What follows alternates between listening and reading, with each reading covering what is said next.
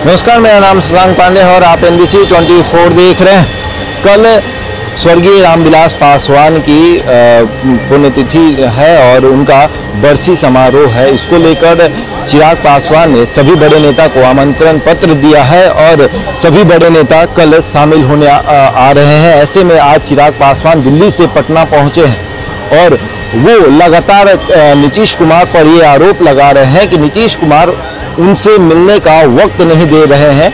इसलिए नीतीश कुमार के पास अभी तक आमंत्रण पत्र नहीं पहुँच पाया है। चिराग पासवान ने साफ़ तौर पे कहा है कि अगर नीतीश कुमार मुझे मिलने का वक्त नहीं दे रहे हैं तो मैं मीडिया के माध्यम से उन्हें आमंत्रित कर रहा हूँ कि कल वो आए और मेरे पिता की बरसी में शामिल होकर प्रसाद ग्रहण करें, क्योंकि मेरे पिता सभी दलों के बड़े नेता के साथ काम कर चुके हैं। क्या कुछ कह रहे हैं नीतीश कुमार को लेकर चिराग पासवान? सुनिए। अभी तक समय नहीं मिल पाया नीतीश कुमार को निमंत्रण देना चाहते थे चाहता तो ज़रूर था पर हाँ अभी तक तो नहीं समय मिला देखिए।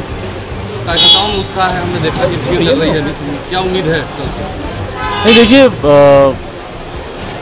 हमारे नेता अ, उनके सबके साथ संबंध इतने खूबसूरत और इतने मधुर थे इवन कार्यकर्ताओं की बात करें तो मुझे नहीं लगता कि मुझमें या अपने कार्यकर्ताओं में वो कोई फ़र्क रखते थे। अपने बच्चों की तरह ही वो सबको प्यार करते थे।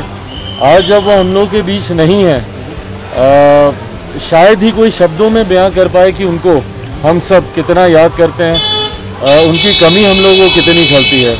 कल ये एक ऐसा दिन है बरखी का जहाँ सब एक साथ होंगे एकजुट होंगे उनकी पुरानी बातों को बैठकर सब एक दूसरे के साथ साझा करेंगे।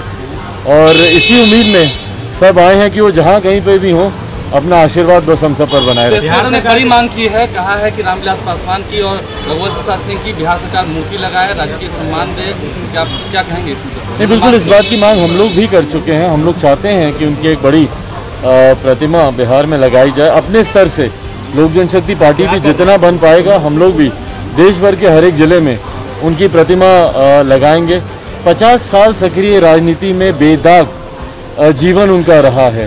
ये अपने में प्रेरणा स्रोत है। आने वाले समय में आने वाली पीढ़ियाँ उनको जाने उनके विचारों को जाने इसके लिए महत्वपूर्ण है कि निरंतरता में इस तरीके के कार्यक्रम आयोजित होते रहें। कार्ड तो नहीं मिल पाया कि अभी भी आप नीतीश कुमार को बुला रहे आखिर मुख्यमंत्री समय क्यों नहीं दे रहे चिराग पासवान नहीं, ठीक है कार्ड तो नहीं मिल पाया कि आप अभी भी आमंत्रण दे रहे हैं? नहीं नहीं बिल्कुल मैं आप सबके माध्यम से देखिए मुख्यमंत्री जी मुझे समय दे नहीं दें पर मेरे नेता जिन्होंने ना सिर्फ़ बिहार के लिए बल्कि देश भर में गरीबों के लिए, वंचितों के लिए, दलितों के लिए, शोषितों के लिए उन्होंने जो कार्य किए, सामाजिक न्याय की जो निरंतरता में उन्होंने लड़ाई लड़ी, ऐसे में आज जिस प्रदेश में उनके लिए कार्यक्रम हो रहा है, उसमें उस प्रदेश के मुखिया के नाते मैं उनको मैं आमंत्रित करना चाहता हूँ। मेरे नेता, उनके साथी भी रहे, उनके सहयोगी भी रहे।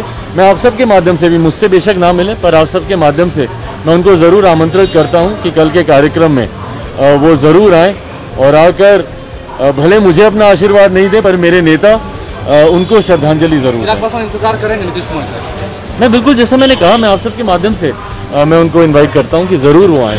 और विनम्रता पूर्वक इनवाइट करता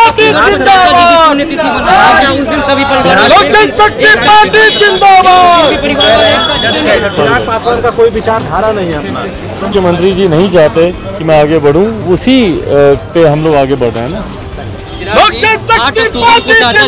कार्यक्रम करेंगे। क्या उस दिन परिवार वाले एक साथ दिखेंगे? जी सब ठीक ठाक है जी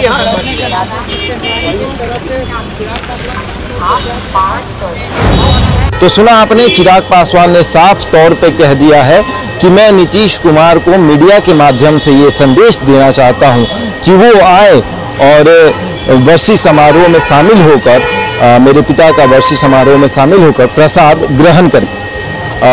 आपको बता दें कि 8 अक्टूबर को पशुपति पारस ने भी ऐलान किया है कि वो भी अब स्वर्गीय रामविलास पासवान की बरसी मनाएँगे और वो चिराग पासवान को बुलाएँगे। हालाँकि जब हमने उनसे इस मुद्दे पर सवाल किया कि क्या आप भी 8 अक्टूबर को पशुपति पारस के यहाँ शामिल होंगे वो भी स्वर्गीय रामविलास पासवान की बरसी मनाएँगे तो इस सवाल पर चिराग पासवान कन्नी काटते हुए दिखे। उन्होंने इस सवाल पर जवाब देना उचित नहीं समझा। तमाम खबरों के लिए जुड़े रहे हमारे साथ और देखते रहे एनबीसी ट्वेंटी।